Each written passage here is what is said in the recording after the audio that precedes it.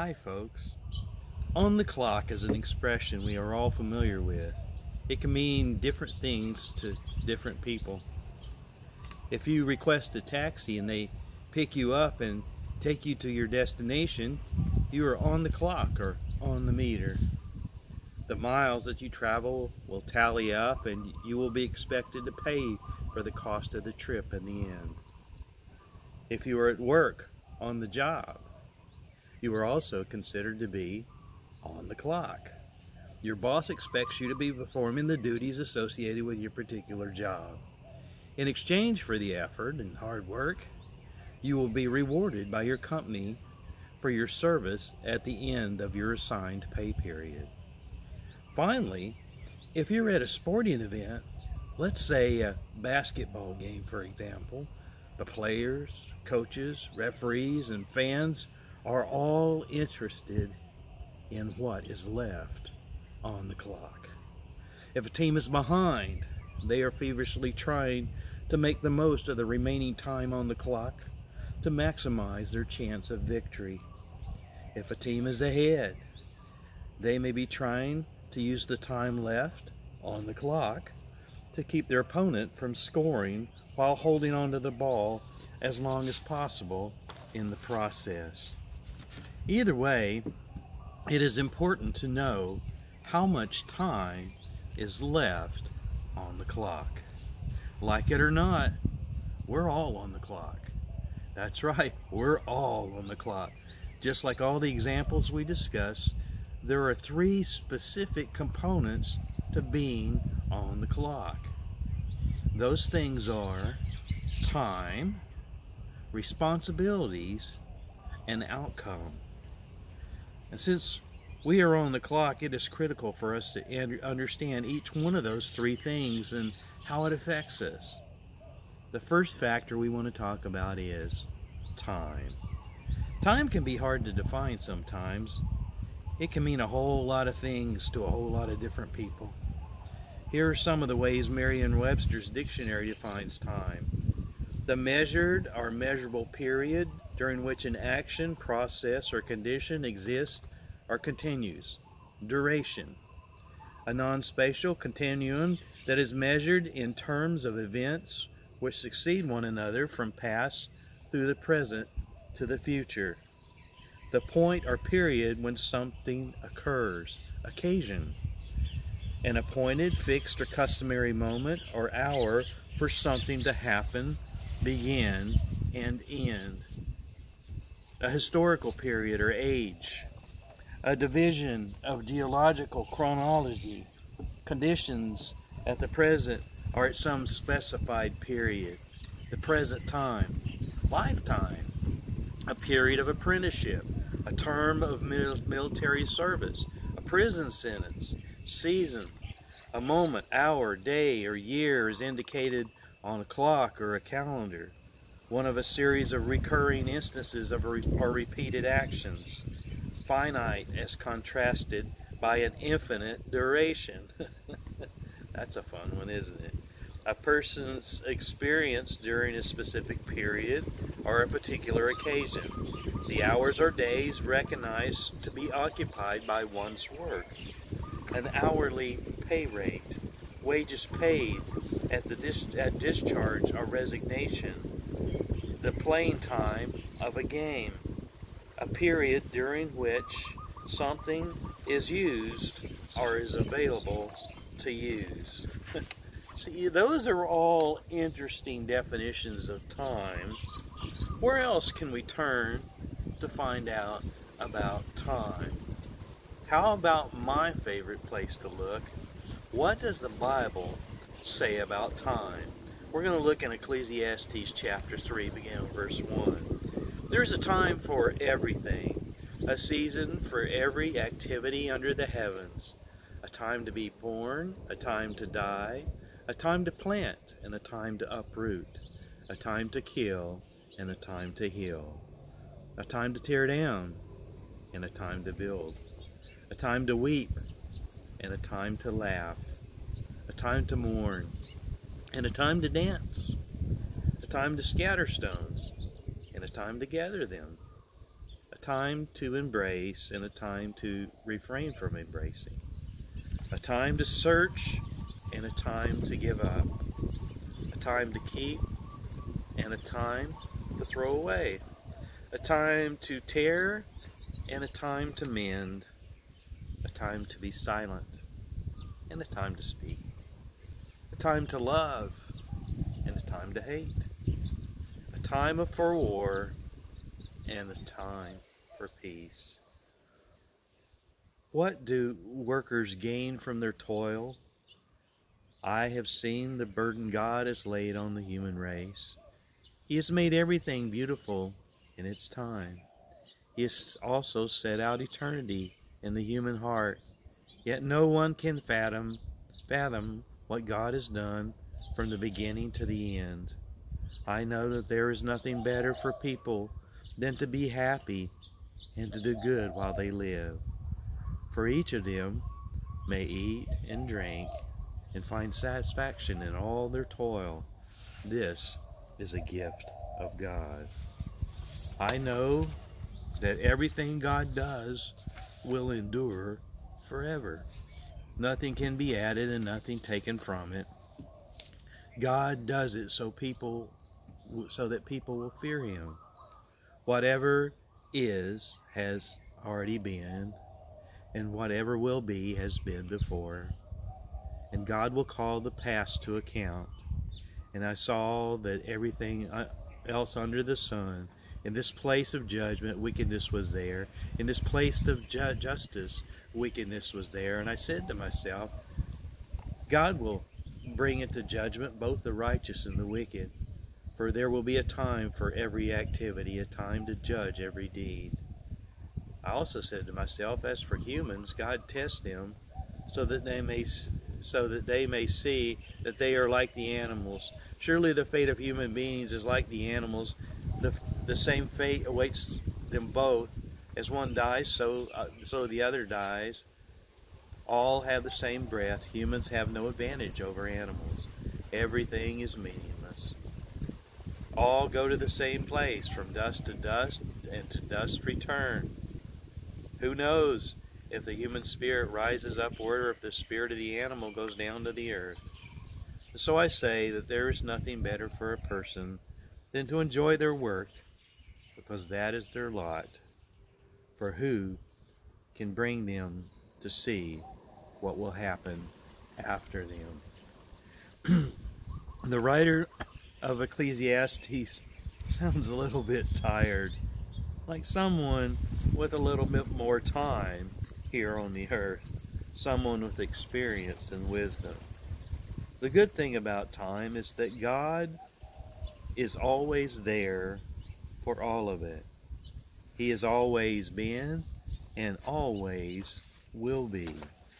For us, there are seconds, moments, events, days, seasons, and lifetimes involved with time. There is the time we have already used the, the here and now, and the time that is ahead of us. There is a time that we have been here in this life, and there's a time that is beyond it. Time is both finite and limitless. We can be running out of time, or we can have all the time in the world. Time can be viewed as precious are disposable depending on how you use it. We often look at time in terms of our experience. We have good times and bad times, happy times and sad times. Sometimes we categorize time in terms of the effort involved, easy times and challenging times. Regardless of our personal definitions, we know how much time, we never know how much time we have left in this world. James chapter 4 puts it this way, beginning with verse 13.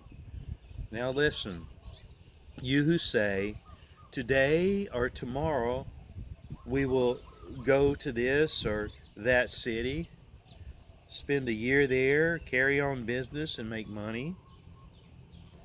Why, you do not even know what will happen tomorrow. What is your life?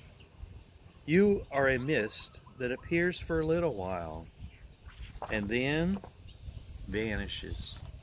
Instead, you ought to say, if it is God's will, we will live and do this or that.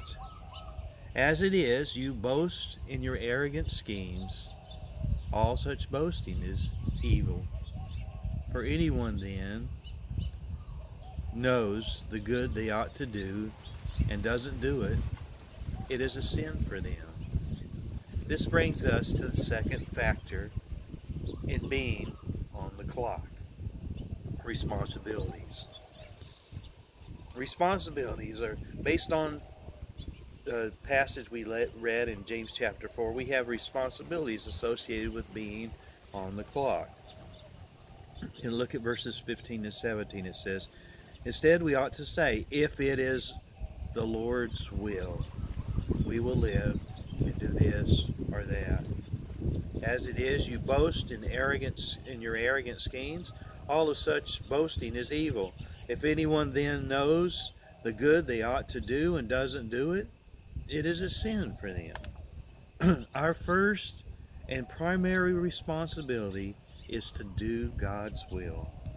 God created us the way He did for with a specific purpose in mind for us. Each and every one of us uh, were create were custom made and uniquely equipped for that purpose. As God reveals His will for us in our lives, it is our responsibility to follow His direction for our lives. Just as a coach instructs the players on the court on what to do, when to do it, God gives us all directions. Many of those directions are written down in His Word, the Bible.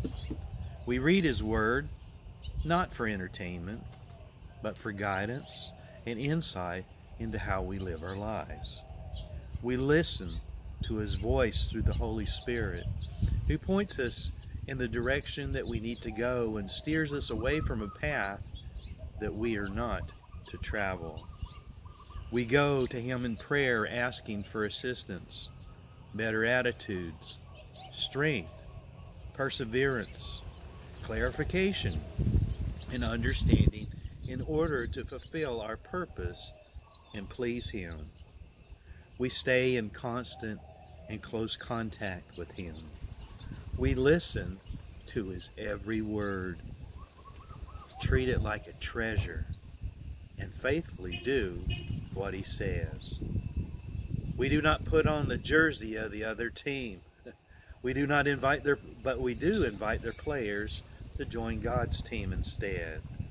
We are proud of being His. We are proud of being His faithful children. We serve not out of duty, but out of love. Each and every moment of each and every day, we are to be about His business. He has times for us to do particular things for Him. Back to Ecclesiastes chapter 3. It says, There is a time for everything, a season for everything, every activity under the heavens, a time to be born and a time to die, a time to plant and a time to uproot. See how it goes from one to the other? It bounces back and forth. It's almost like a clock. Tick, tock, tick, tock, tick, tock. Do you feel it?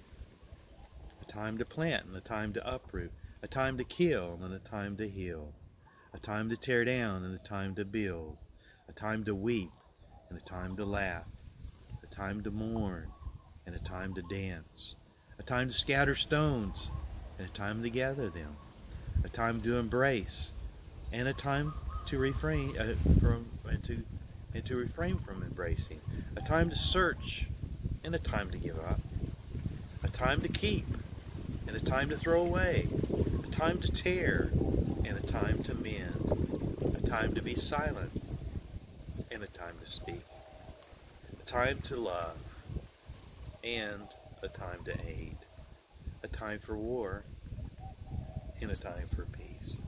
Our individual tasks can change from time to time, but our overall responsibility is to do His will. Let me say that again. Our individual tasks can change from time to time, but our overall responsibility is to do His will. We have many things to do, and the clock is ticking. These are our responsibilities. We need to embrace them and be happy in them. Remember what it says in verse 13 of this passage in Ecclesiastes.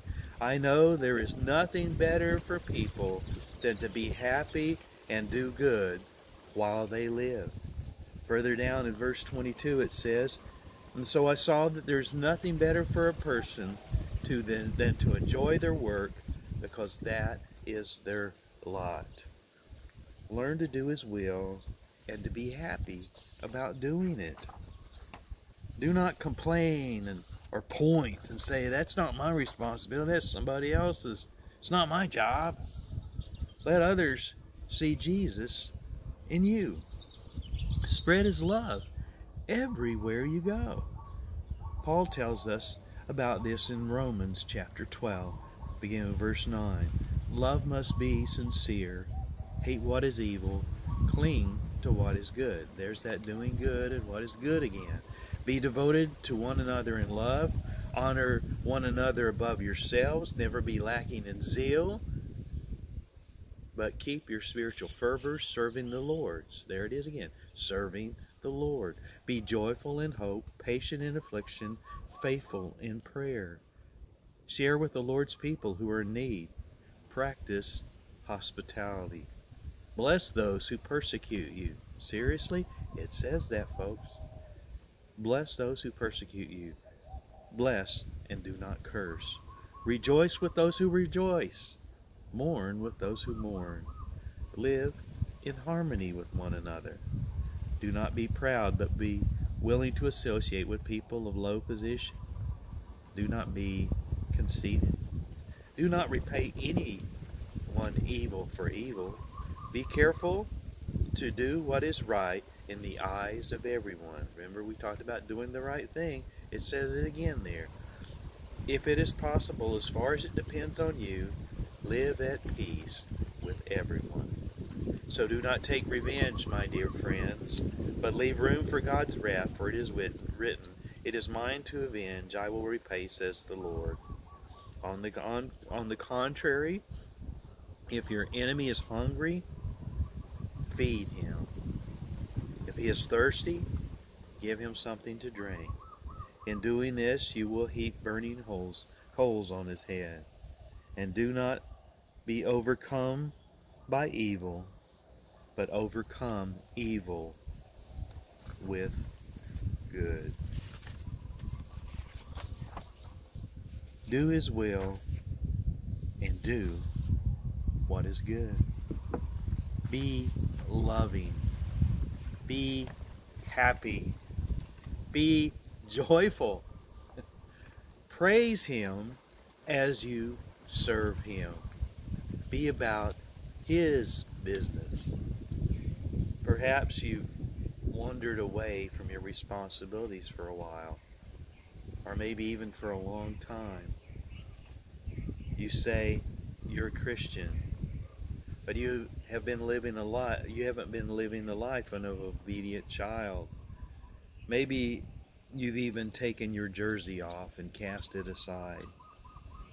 It's not too late to find your way back to Him. Jesus tells of someone who walked away from it all in Luke chapter 15. He tells this story. Verse 11. There was a man who had two sons. The younger one said to his father, Father, give me my share of the estate. And so he divided his property between him. Long after that, the younger son got together all he had and set off for a distant country where he squandered his wealth in wild living. After he had spent everything, there was a severe famine in the whole country, and he began to be in need.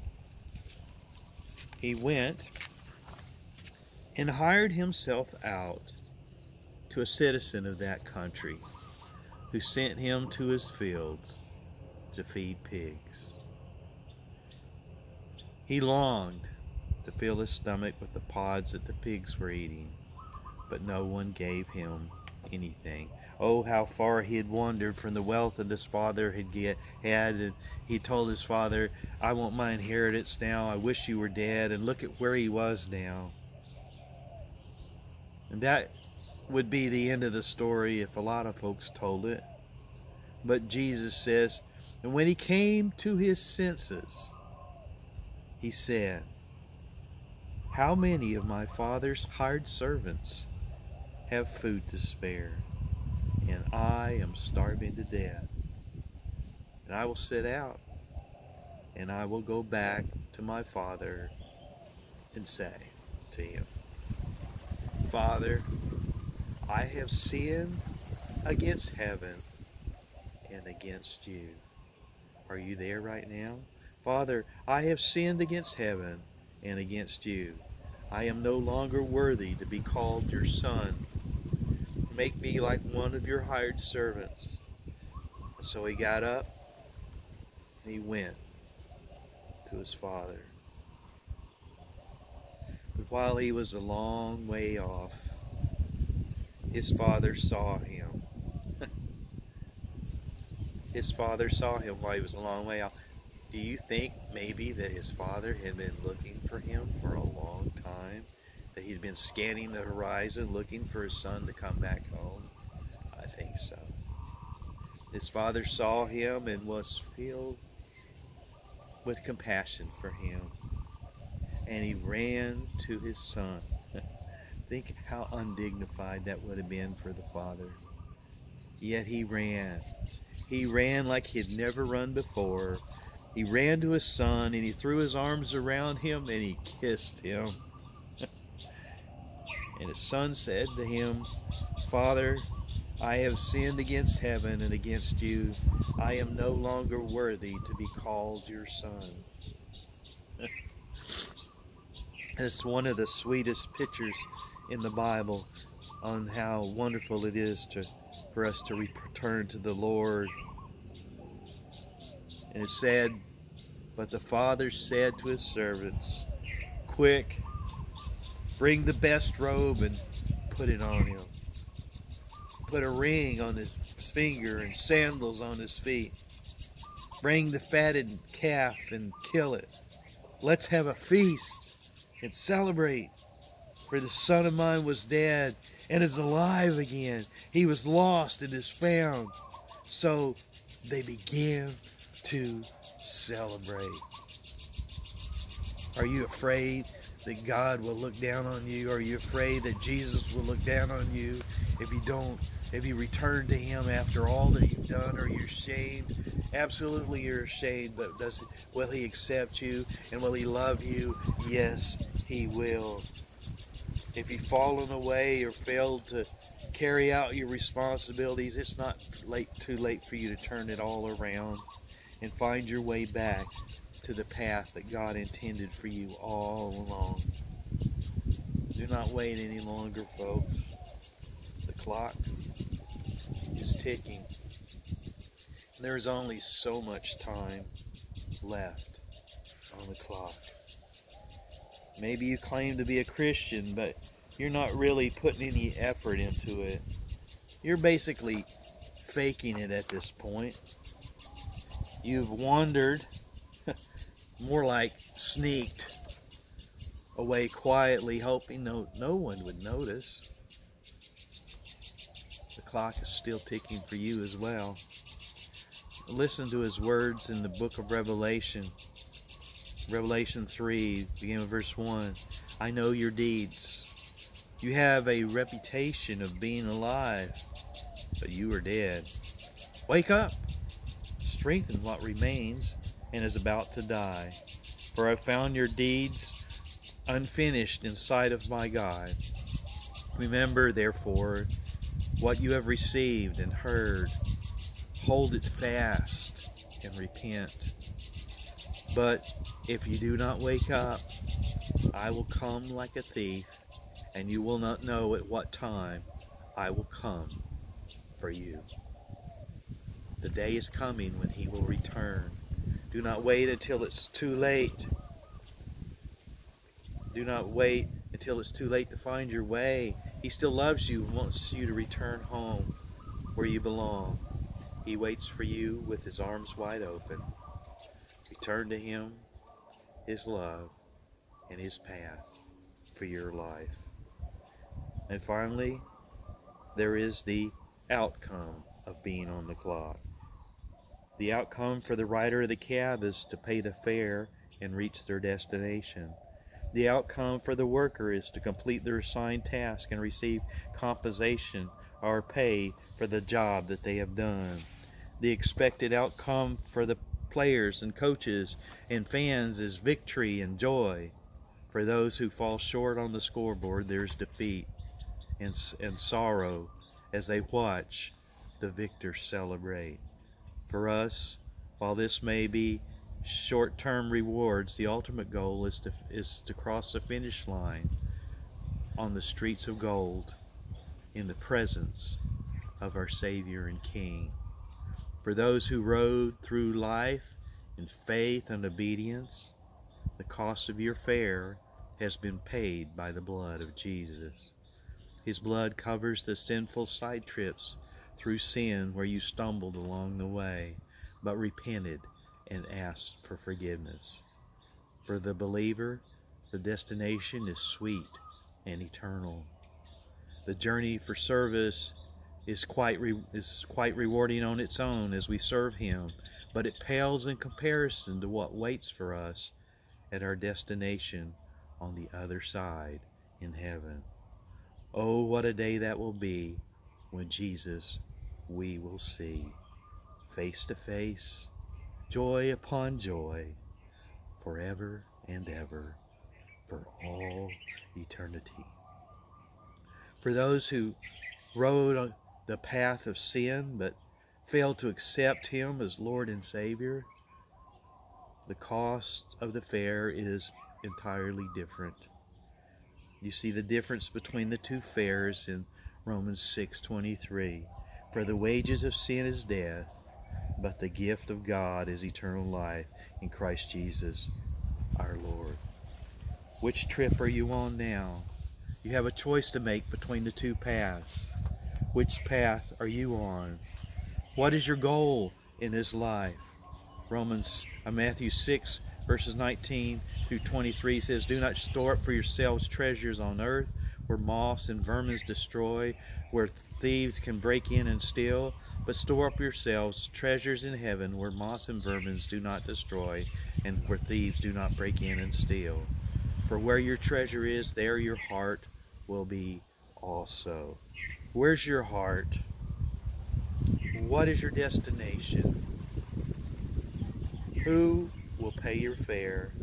The choice is yours. The clock is ticking. Be ready to forgive if and accept him as Lord and Savior.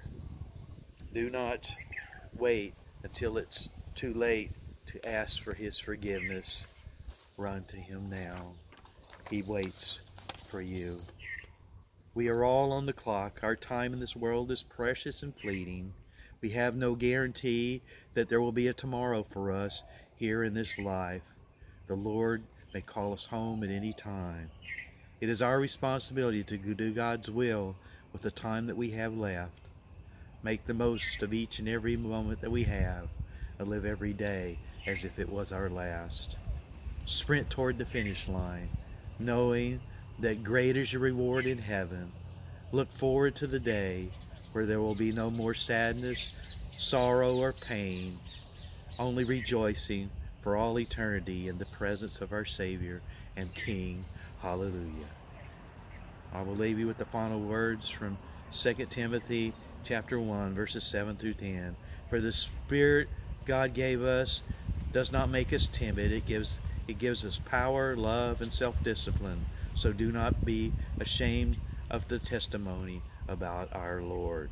Time to spread the word, folks. We're on the clock. Let's go to work.